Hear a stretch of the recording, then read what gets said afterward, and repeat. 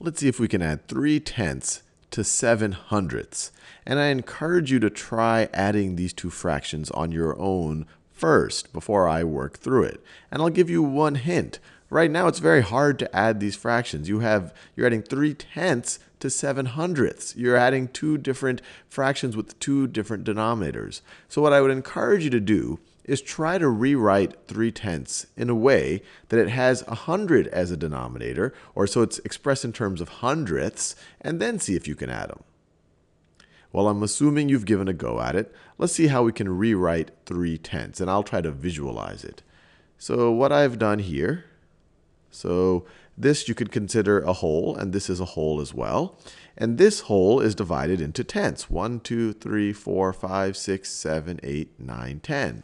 So what would 3 tenths look like? Well, it would be 1, 2, and 3 of the tenths.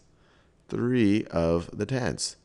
Now what would happen if you, turn, if you took each of those tenths and you divided them, if you took each of those tenths and you divided them into 10 more sections?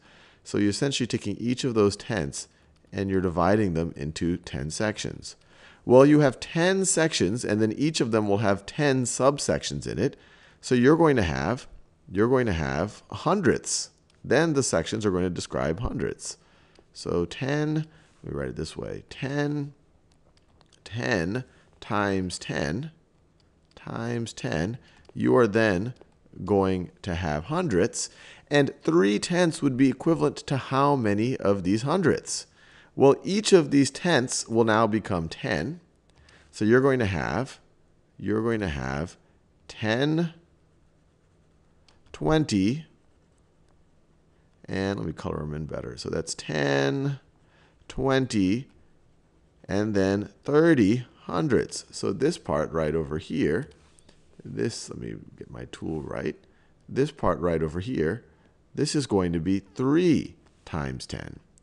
3 times 10, which is going to be equal to 30. 10 times 10 is equal to 100. So this is how we're going to change the denominator. Instead of thinking in terms of tenths, we're going to think in terms of hundredths. And now our numerator, the 3 tenths is equivalent to 30 hundredths. So we can rewrite this fraction. We essentially multiplied the numerator by 10. We multiplied the numerator by 10. And we multiplied the denominator by 10 which didn't change the value of the fraction. It still represents the same, the same, it still represents 3 tenths of the whole. So when you do that, you end up, we can rewrite this thing as 30 over 100. 3 tenths is equivalent to 30 over 100.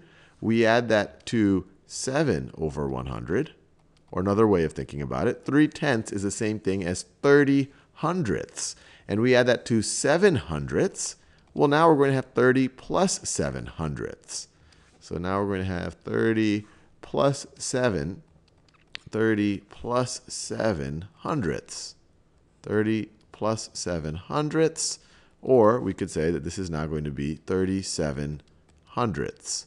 37 hundredths. So this extra 7 that we're adding here, maybe I'll do this in, uh, that, not, that's the same color. This extra sevenths, let me do this in a new color this extra, the 7 hundredths that we're adding, that's going to be 1, 2, let me paint that in a little bit clearer. So that's 1, 2, so it gets us all the way to 7. Let's see, 1, 2, 3, so 7 hundredths. 7 hundredths is right over there. So let me get back to my pen.